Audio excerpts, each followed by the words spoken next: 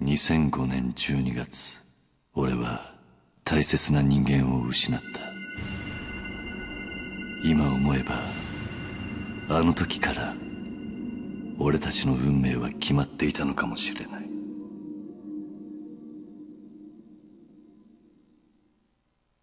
俺がまだ登場界の二次団体堂島組にいた頃俺には家族と言える仲間が3人いた。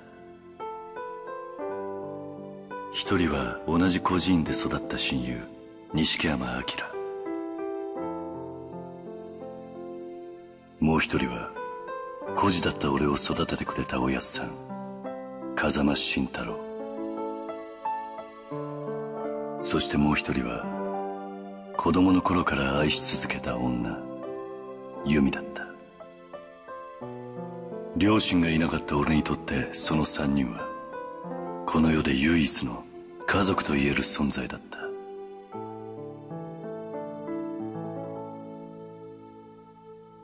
だが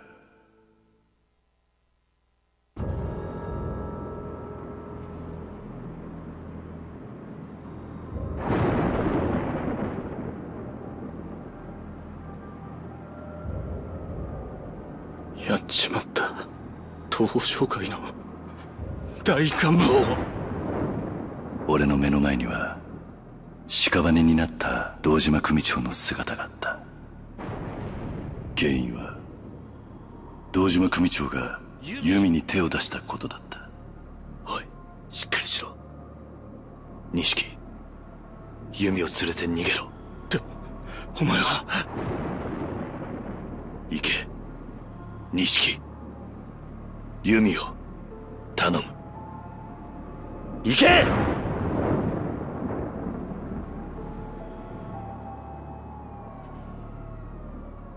けがえのない二人を守るため俺は覚悟を決めた。食事始め。刑期は10年。服役した俺には組織からの波紋状と由美が失踪したという知らせが届けられた。親殺しの汚名組織から見放された俺は自分を見失いそうになった。だがそんな俺を忘れないでいてくれる人間がいた。おやっさん。風間のおやっさんだった。出所した俺は風間のおやっさんに会うためそして何よりも服役中の10年間に起こったことを確かめるためカムロ町へと戻ってきた。そんな俺を待ち受けていたのは。直系組長の皆さんがいるこの場で三代目に伺います。東都銀行の貸金庫にあった組の金100億。盗まれたってのは本当ですか？表変したかつての親友と消えた100億を狙う屈強な男たちだった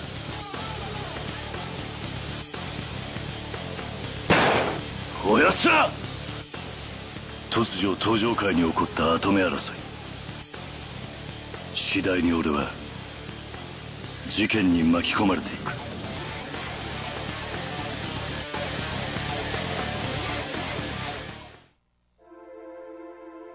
俺は風間のおやっさんの言葉を信じ事件と関係するという行方不明の弓を探す。だが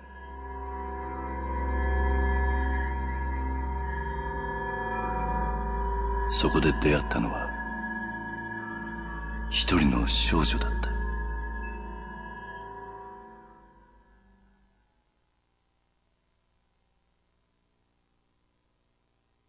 少女の名は遥かまだ9歳の女の子だった。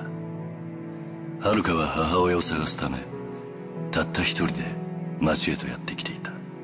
単なる偶然の出会い。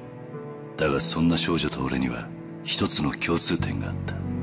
お前どうするんだこれから？私にはお母さんと弓お姉ちゃんだけ。だから。ユミ母親を探す少女は俺が探すユミを知っていた。俺は遥との運命を感じつつ彼女と共に事件を追いかけることとなっただが。わしらが追っとんのはそこのお嬢さんですわ。突如遥は100億の鍵を握る少女として組織から追われることとなってしまう。狙われ続ける毎日。俺は遥を守りながらユミと100億の行方を追った。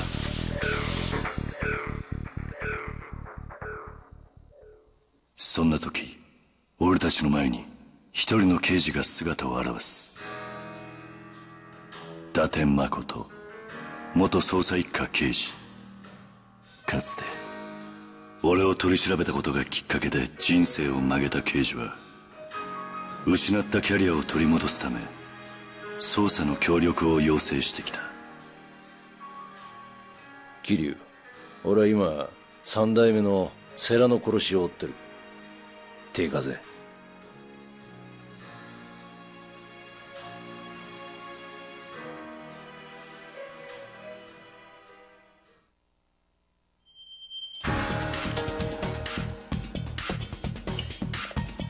事件を追う元極道と現職の刑事。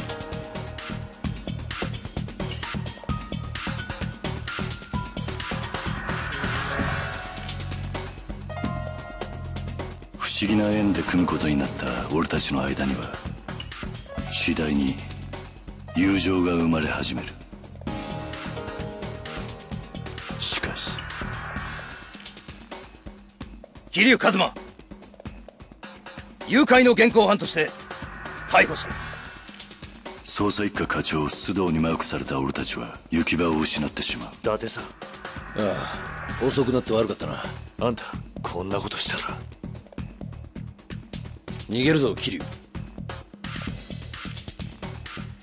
警察との板挟みになった伊達さんは俺たちのために警察を捨てた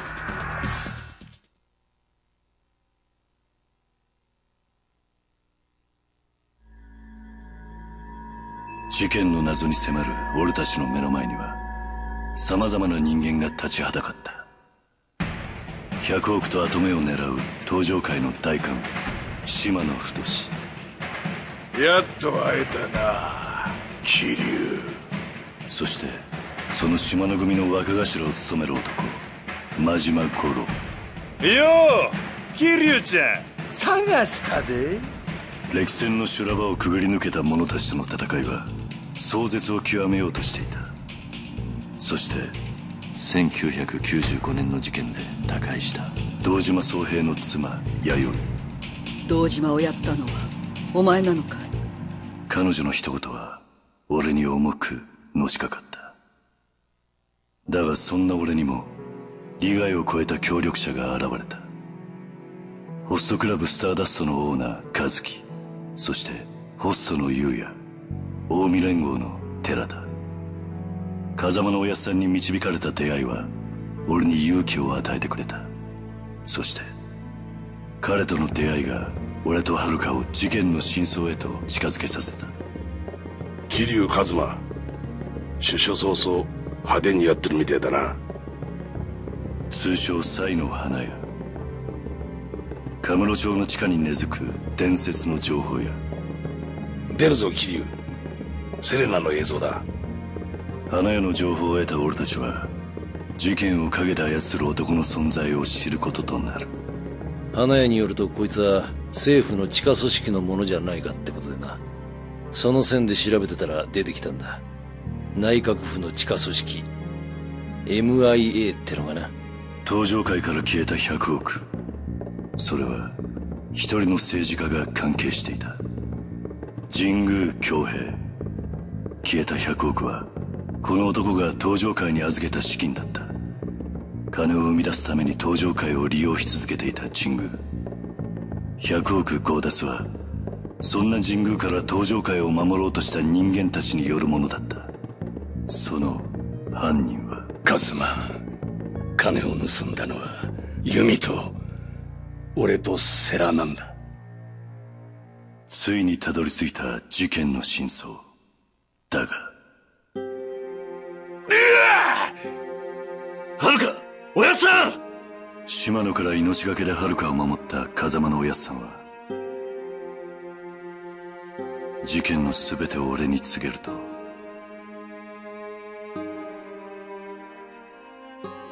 許してくれカズマお前の親殺したのは。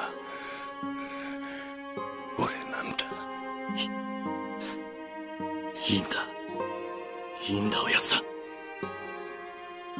俺にとっちゃおやっさんが本当の本当の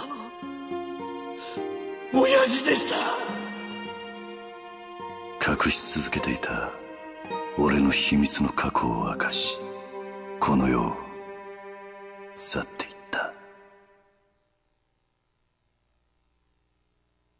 全ての真相を知った俺は遥と共に100億が眠る地ミレニアムタワーへと向かった。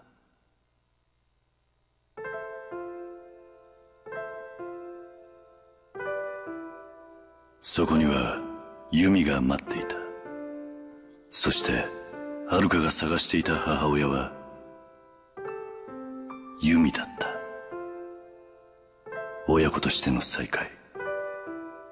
だがその束の間の幸せは長くは続かなかった。なんだ？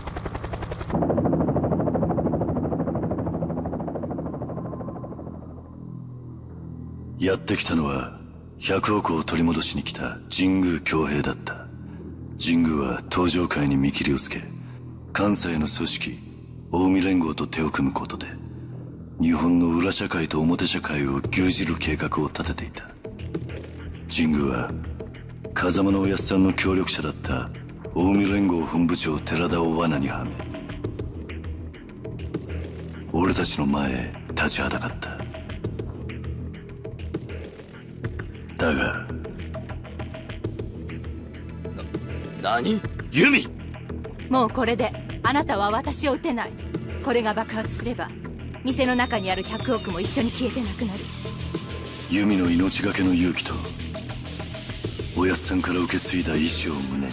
俺は登場界四代目桐生一馬だ！俺たちは神宮を打ち破ることができた。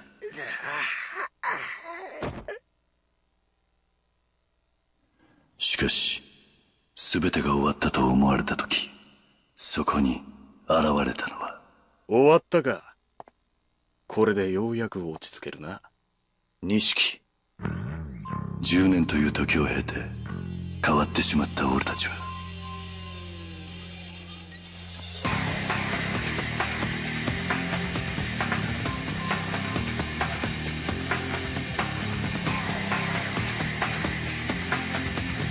戦い合うしかなかった。そして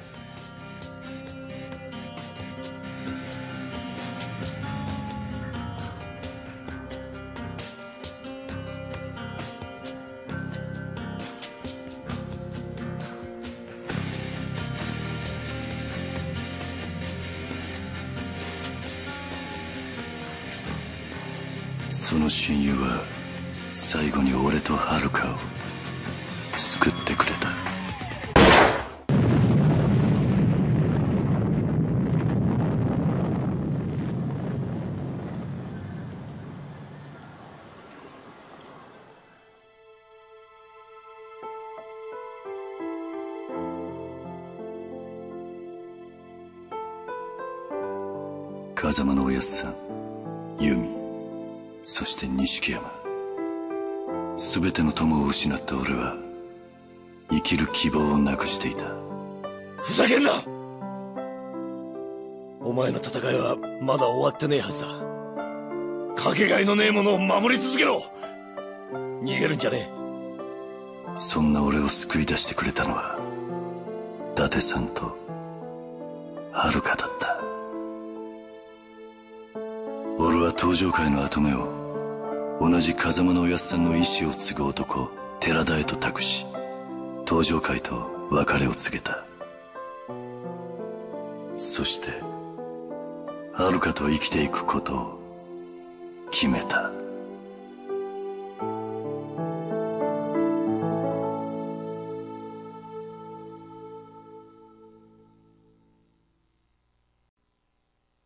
2005年12月。登場会から消えた100億をめぐる事件の後俺は都政から足を洗い遥と二人。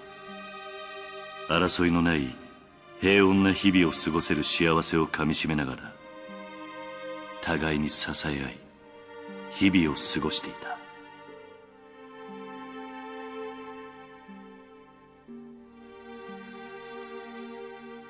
これ以上大切な人間を失いたくない。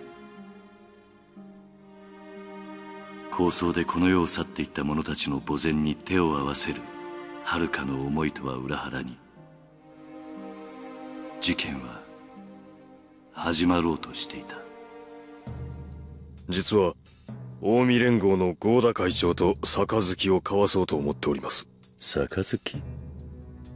俺の跡目を引き受け登場界の五代目となった寺田は敵対する関西最大の組織近江連合との争いを避けるべく五分の杯を交わす考えを打ち明ける。しかしそこに待っていたのは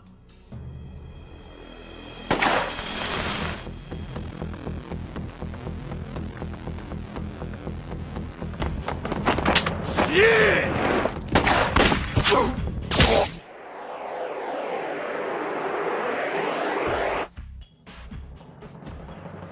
凶弾に倒れた寺田。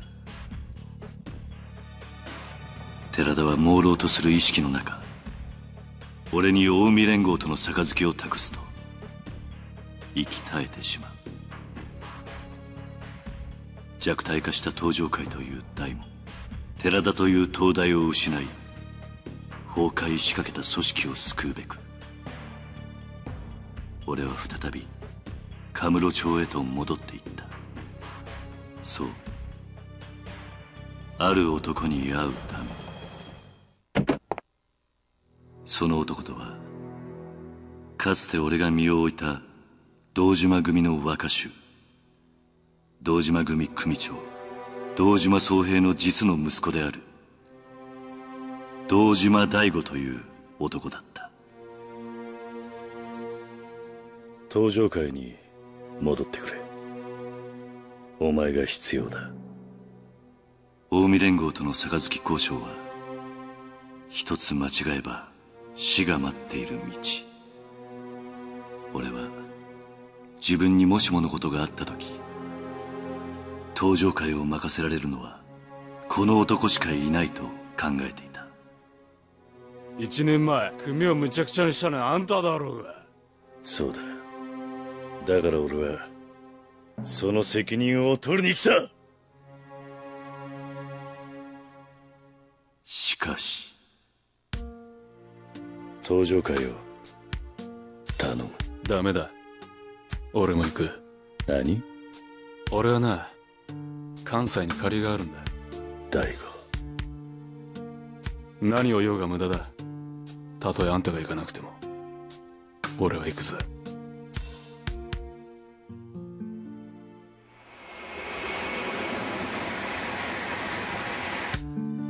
こうして俺と大悟は登場会と近江連合との杯を実現させるべく関西へと向かうのだった。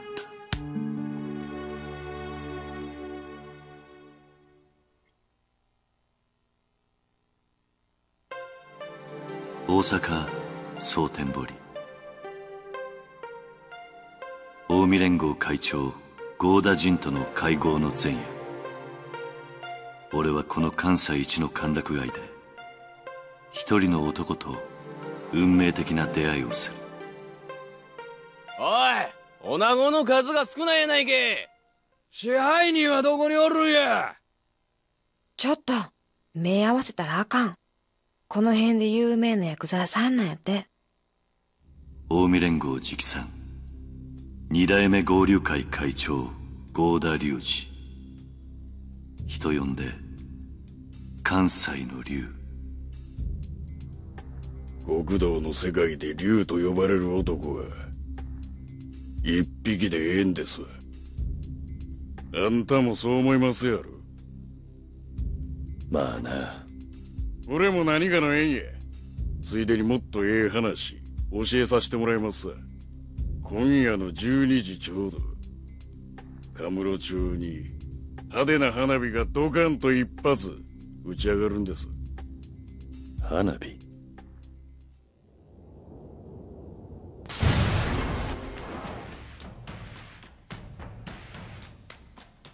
龍二の言葉通りその夜カムロ町の風間組事務所は爆破されてしまう。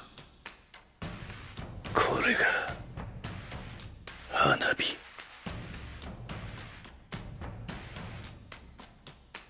合田隆二という男が仕掛けた戦争の火種。それは東上会と近江連合の杯を了承した近江連合会長の合田陣営も襲いかかる。龍二近江と東条が五分の杯やと。82いや91の間違いとちゃうんかお前何しに来た？お前は執行部の人間やない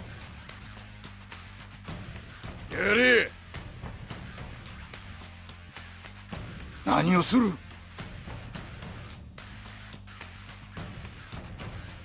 お前の狙いはやはり戦争なのか？そうや。西と東の大戦争。それこそがわしの狙いや。それともう一つ。俺か。合田隆二という男の狙いそれは合流会による全国制覇。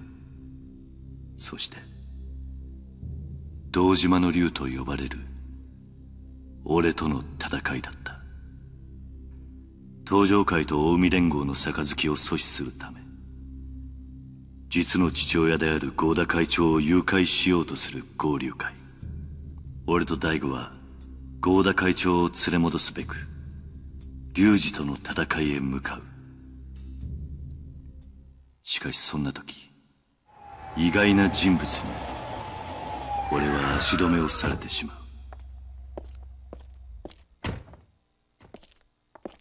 本部内の全員連行や。はい。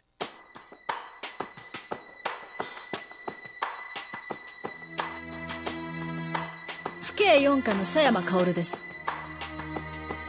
あなたを傷害の現行犯で逮捕します。それが佐山薫という女との出会いだった。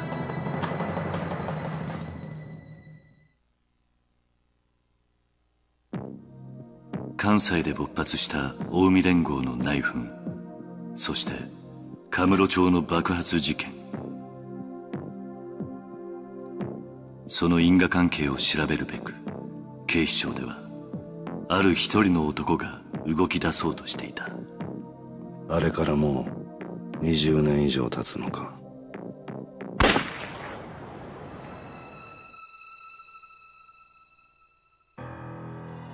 捜査中の発砲を繰り返し殺人刑事と揶揄された危険な男。老いてなお鋭い瞳を光らせるこの刑事はかつての相棒伊達さんを呼び出しカムロ町で暗躍する海外組織を追いかけ始める。なんとそのターゲットは。あのスターダストのオーナー和樹だった。その頃俺は関西であの女刑事佐山と行動を共にしていた。佐山は刑事としての立場を利用し俺の身柄を拘束しながらわざと俺を近江連合の関係者に接触させ近江連合の内情抗争事件の情報を得ようとしていた。だがそんな時俺は狭山が俺に近づいた本当の理由を知ってしまう。何遍も言うてるやんか。あんたの両親とヤクザは関係ないって。だったら教えてよ。私の本当の親は誰なの？もうこの話はええわ。とにかく私はあの桐生一馬を追いかける。なんでや？あの男が登場界の人間だからよ。登場界？彼の身辺保護をすれば登場界に近づける。そうすれば過去に何があったか調べることができるわ。狭山の本当の狙い。それは？彼女の出生の秘密を知ることだった。自分の両親は一体誰なのか？どうして自分は両親を失わなければならなかったのか？狭山は両親の死に関係していたと言われる登場会を調べるため俺を利用しようとしていた。お前の気持ちわからないでもない。え？俺にも隠された過去があったんだ。隠された過去？ああ。だが俺はそれを知ってしまったことで苦しかった。知らない方が良かったとさえ思った。もしかしたら人間には知らなくてもいい過去があるんじゃないのかそれは自分の過去を知っている人間のセリフよ。そうかもしれないな。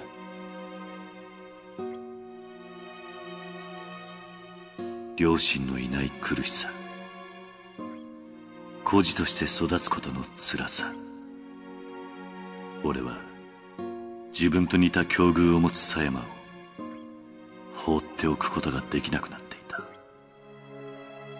正直怖いわ過去を知るのって。でもいいの。それが私が選んだ道だから。そうか。なら俺を利用すればいい。俺に張り付いて登場会を探れ。もしあなたが関係してたら？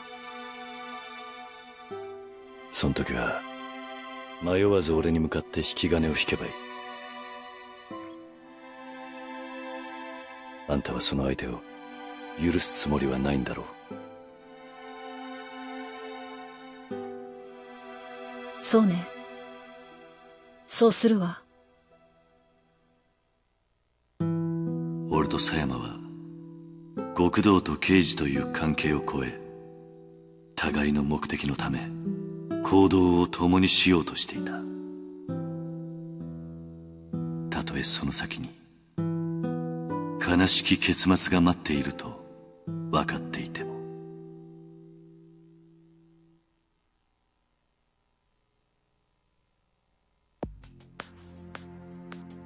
誘拐されたままの合田会長の行方を追いながら俺は狭山の過去を追い東西を奔走する。次第に分かっていく狭山の過去。そして20年前に起きた事件との関係。俺はその事件に自分そして風間のおやっさんが深く関わっていたという事実を知る。同じ頃カムロ町では20年前の事件の復讐劇がある組織によって行われようとしていた。鎮魂派つて堂島組の手によってカムロ町から消された海外の組織。その生き残りたちによる壮絶な復讐の計画。20年前の事件の時からずっと組織を追い続けていた河原さんはその動きを察知すると俺と狭山にその情報を伝え鎮魂派が待つミレニアムタワーへと向かった。現役警察官僚である倉橋が仕掛けた。悲しき復讐劇。その結末は倉橋と河原さんが差し違える形で幕を閉じた。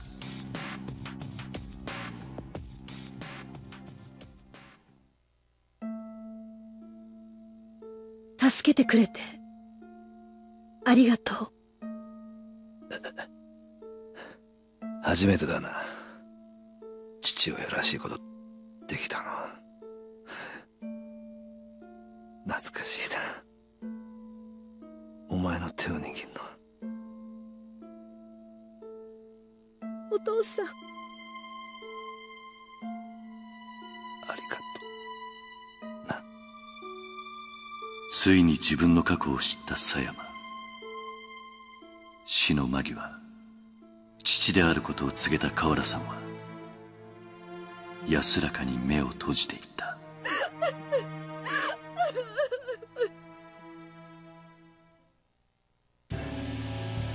その頃神言派とは別に関西の竜が最後の戦いに向けて動き出そうとしていた。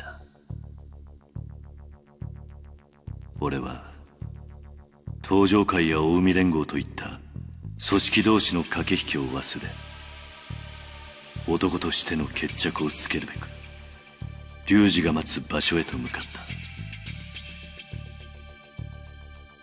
た。よっしゃ!あら一丁派手に極道の花咲かせようやないだが結末は意外な方向へと向かっていく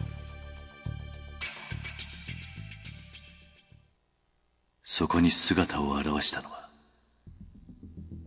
死んだはずの寺田だった。20年前のカムロ町で起こった事件。風間のおやっさんが命を救った神言派の生き残りの一人。それが寺田だった。寺田は自分が背負った復讐者としての宿命。使命のため。身分や生死を偽装してまでこの復讐劇を果たそうとしていた。あなたたちを倒しあの爆弾にスイッチを入れれば全てが終わるんだ。桐生さん死んでもらいます。悲しい戦いだった。寺田は俺の前に姿を現した時すでに死を覚悟していたのかもしれない。抗争事件を裏で操っていた黒幕。高島に撃たれた寺田は最後に俺にこう言い残す。桐生さんさ最後に俺を信じて。その言葉の直後作動する次元爆弾。慌てた高島の隙をついて龍二がこの抗争事件の終止符を打つ。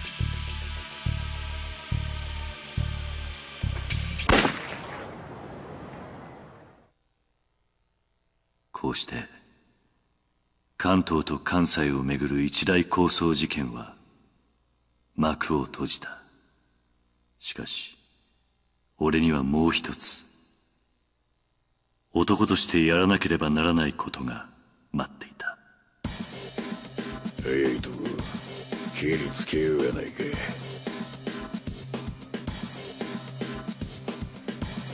やめてよ！ここから逃げましょう！断る。え？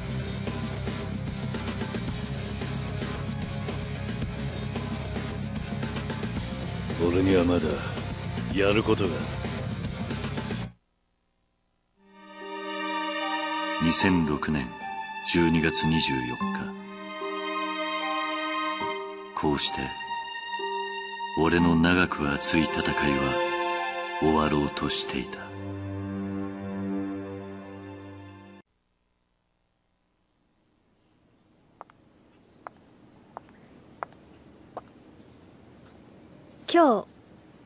立つのね。ああ。私もお別れを言いに来たわ。関西近江連合との熾烈な覇権争い。警察をも巻き込んだ一大騒動を共に追いかけた戦友佐山薫。だが事件の終着を迎え俺たちの出した結論は別れだった俺と遥が選んだ新たな夢。それは。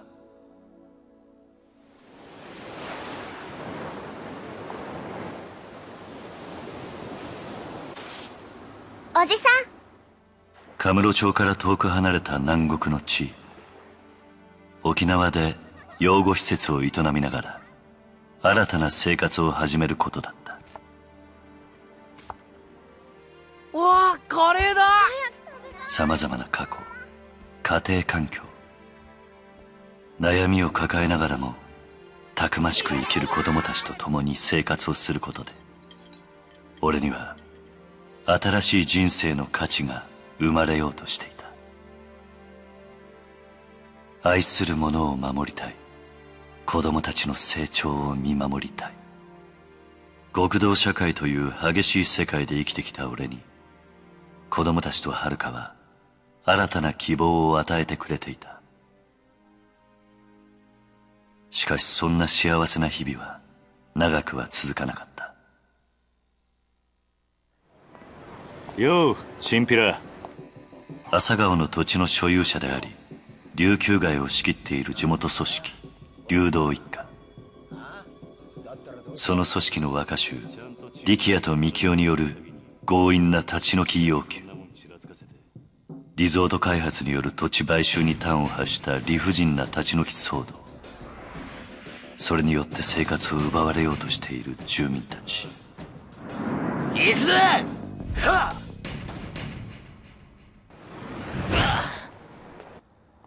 俺は手に入れた子供たちとの幸せを守るため立ち退きを要求してきた流動一家組長中原との話し合いに向かった。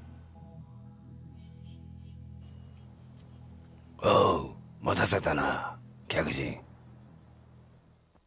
俺の予想に反して中原という男は情に熱い男だった。沖縄を愛するがゆえの苦渋の決断。中原は自分が悪者となってでもリゾート開発に協力することで沖縄に富をもたらそうと考えていた。しかし。おいこらちょっと待て。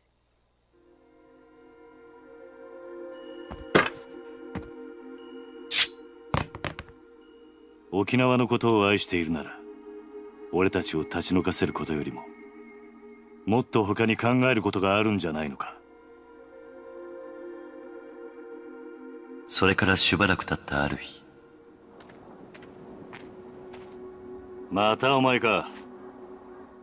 流動一家の若頭力也が朝顔を訪れ。る理由は中原の幼女咲が家から出て行ってしまったということだった。ある事情から声を発することができなくなってしまった咲中原は情欲に走り続け子供を見捨てた実の母親から咲の身柄を引き取り実の娘のように可愛がり育てていた。そんな咲の突然の失踪。数年ぶりに姿を現した母親に咲がついていってしまったことを知った中原は寂しさと虚無感から荒れていた。俺が咲から話を聞いてやる。ちょっとあんた俺はあんたから土地を取り上げようとそれとこれとは話は別だ。今は咲のことだけを考えようじゃないか。お前。中原という男の思い。そして咲との絆。それを知った俺は咲を利用して土地買収の取引をしようと企む組織玉城組と決着をつけるべくサキの行方を追いかけた。一人で飛び込んでくるとはいい度胸だ。その子を取り返しに来ただけだ。大事な取引の材料そう簡単に奪われてたまるか。来やがれこの下道！利権を狙った玉城の野望。そして玉城に惚れた女の末路。それは醜い結末を迎えた。この子のせいで人生めちゃくちゃになったのよ。生まれた時からいっつも邪魔だった。そんなにその子が欲しいんならあんたにくれてやるわ。実の娘を捨て去っていく母親。だが中原という男の思いは伝わっていた。スケッチブックの中身見たことないだろう。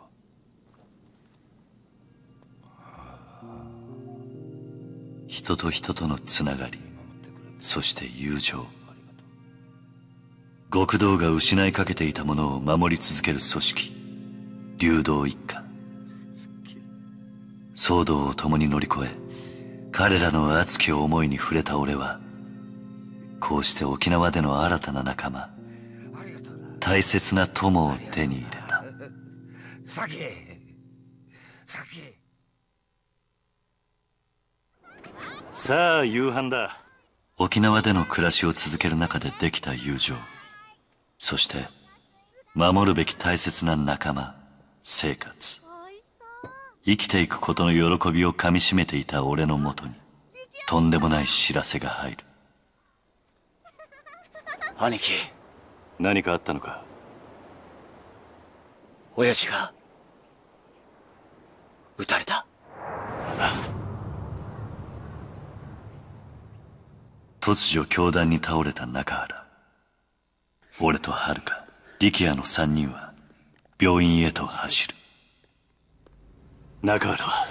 今手術してます。緊急手術を受ける中原。俺たちの到着を待っていた咲と幹雄この時咲のスケッチブックには中原を撃った男の似顔絵が描かれていた。これは？えここれって？兄貴。そこに書かれていたのは紛れもないあの風間のおやっさんの顔だった。だがその直後さらなる衝撃が俺たちを襲うことになる登場界六代目堂島大吾。俺が登場界の未来を託した男もまた時を同じくして凶弾に倒れる。断ると言ったら。困りましたね。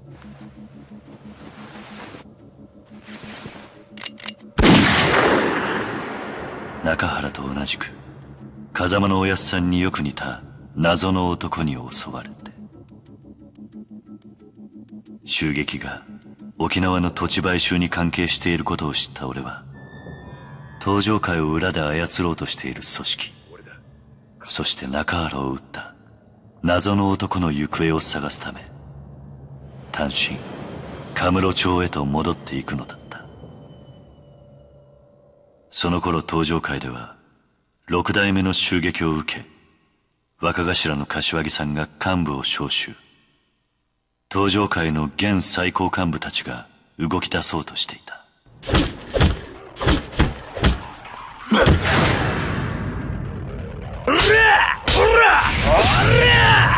いよいよ戦争が始まんで。これだったら人間の首も真っ二つだ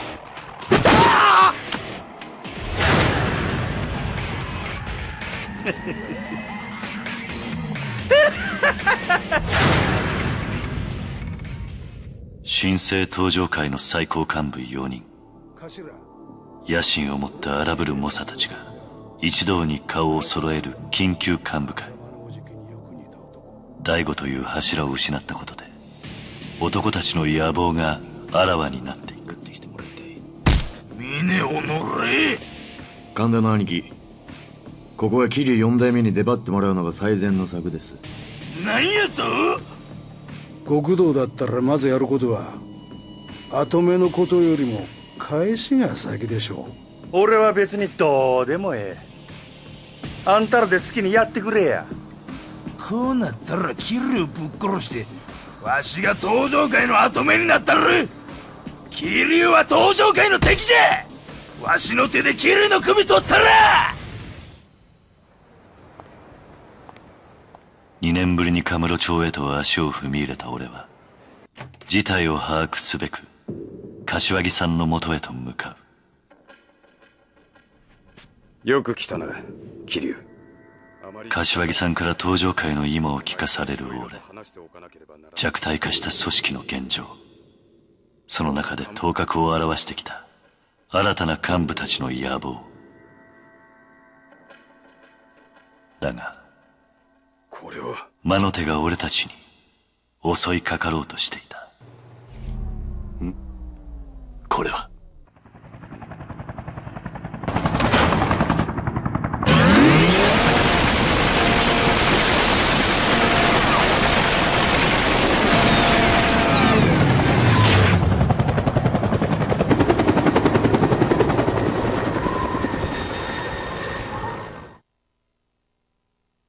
おい峰己んとこの兵隊とかねうちに回せ。や登場界の跡目のみを狙う欲望むき出しの男神田。大悟への忠誠を誓い騒動の収拾を図ろうとする峰。沖縄のリゾート計画。リゾート開発に狙いを定め利権を得ようと画策する浜崎。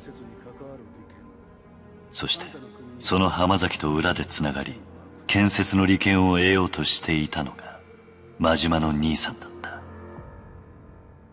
俺は真島の兄さんの真意を確かめるべく真島組のアジトへと向か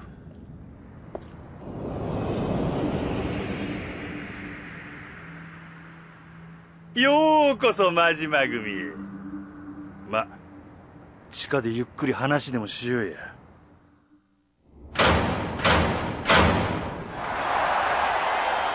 登場会に何があったのか。沖縄のリゾート開発の裏でその絵図を描いていたのは誰なのか。今ゴングです。拳で語り合うことしかできない俺と真島。決着がついた後真島の兄さんは意外な男の名前を口にする。それは数年前登場会との構想で日本を去ったはずの中国マフィアジャカ。そしてその総統ラウ・カーロンの名だった。俺を追いかけてカムロ町へと来ていた力也を襲撃するジャカ。俺は誘拐された力也の後を追いラウの元へと向かった。力也？ああ兄貴しかしラウの目的は俺への復讐だった。目の前で愛する人間を殺す。そのことで俺への深い憎しみを晴らす。どうすることもできない状況か。俺と力也の叫び声がカムロ町に響く中。力也！一発の銃声がその声をかき消した俺たちを助けたのはあの謎の男だった。おやっさん！あんた風間のおやっさんじゃないのか？どうして大悟中原を撃ったんだ？優が桐生一馬か。ああ。Beautiful eyes え？Like I heard from my brother before.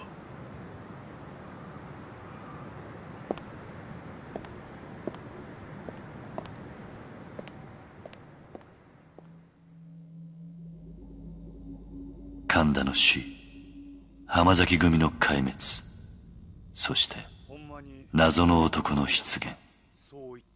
事件が振り出しに戻ったかに思えた時意外な人物が俺たちに接近してくる。どうした？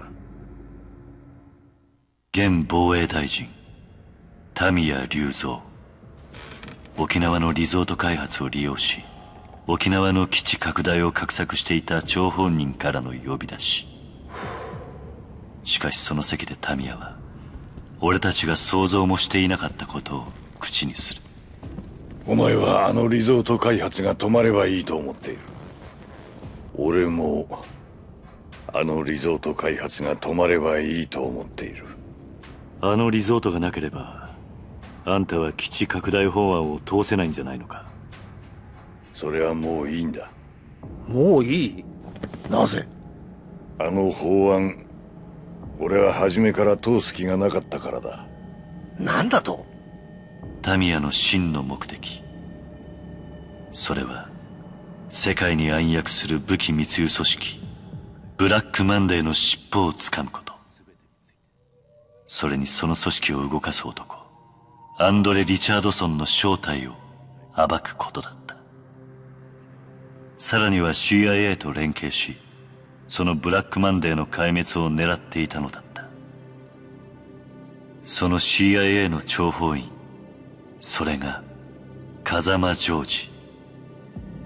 あの風間のおやっさんの実の弟だった。ジョージを止めてくれ。CIA の任務を止めろというのか？そうだ。俺はタミヤが沖縄から手を引くことを条件として風間のおやっさんの弟風間ジョージを救うべく再び沖縄へと向かった。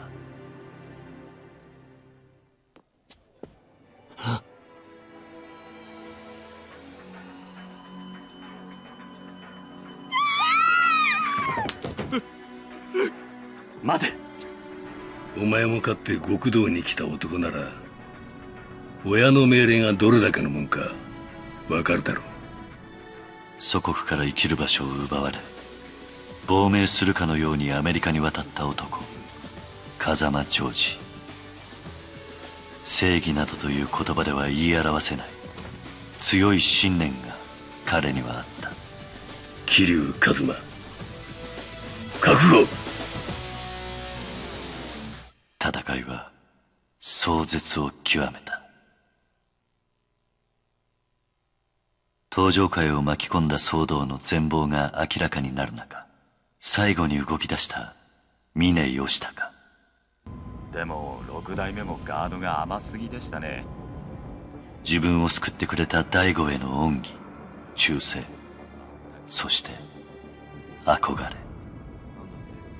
複雑な思いが交錯する中頂点を狙う峰の行動は常軌を逸していく。ったか。何がめでてんだ六代目が死ぬのがそんなにめでてえのか。めでてえってえのか！そんな中沖縄では再び流動一家の面々が事件に巻き込まれようとしていた。あれは？一年前俺と流動一家によって潰されかけた組織玉城軍その組長玉城が峰の後ろ盾を得て復讐に動き出す。やれ。子供の命とこの場所だけは見逃してくれ。親父。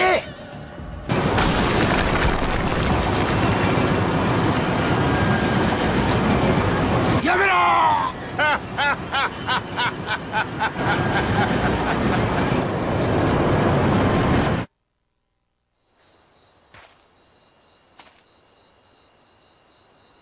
俺は騒動で負傷した力也と幹雄を残し誘拐された中原を救い出すため玉城のアジトへと向かった。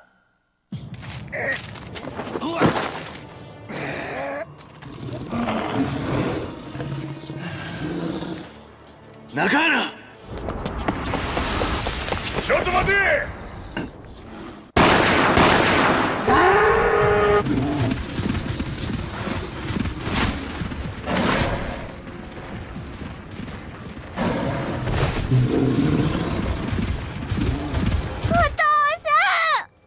命の危機を目の前にして起こった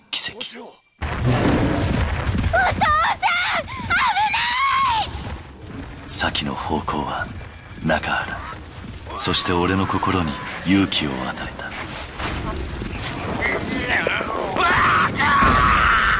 しかし。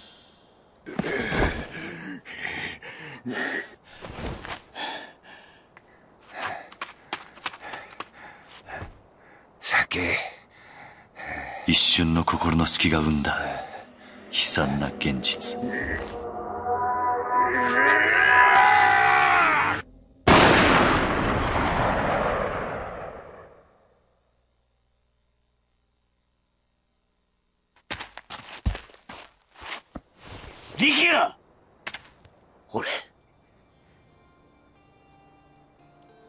楽しかったっす。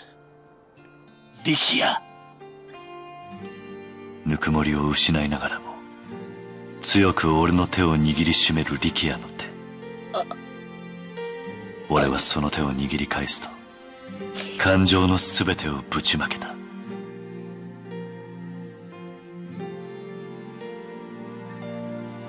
力也お前何勝手に死んでんだよおい！力也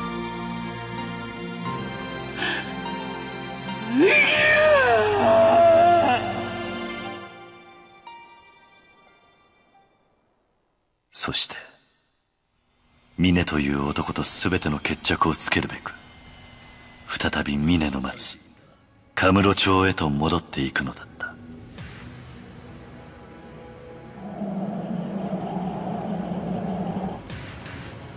峰！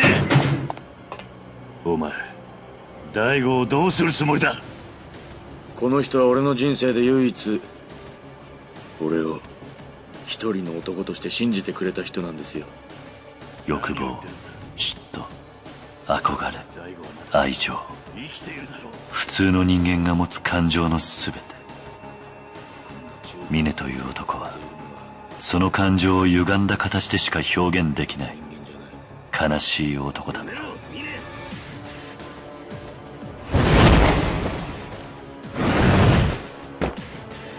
俺を倒すのは簡単じゃないですよ。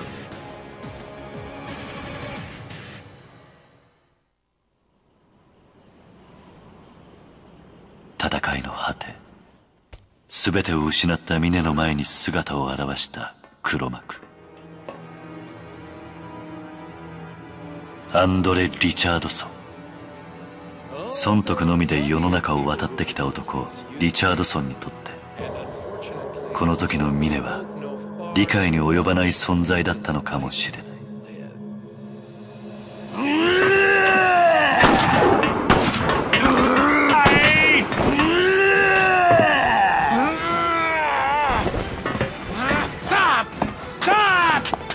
会長すみませんでした。やめろ。やめるんだ。峰峰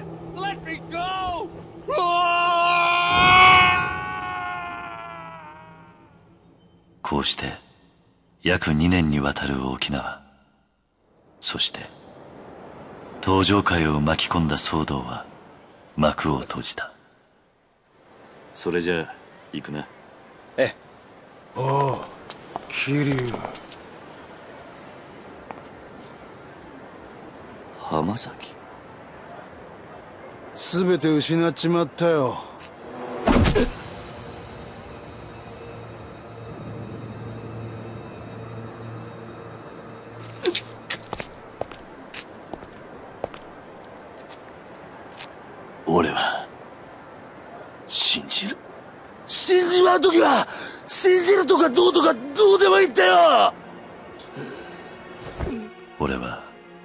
薄れゆく意識の中で力也の言葉峰の言葉を思い出していた。信じる心ってのは人間。死ぬ間際でもモテるんだってことを。その言葉が俺を救ってくれたのかはわからないはるかお姉ちゃんも見てみなよだが俺はまた。生き延び。た生きることの喜び。大切な人間と共に時を過ごすことの大切さを感じながら今日も沖縄の町外れの養護施設で新たな幸せを見つけようとしている。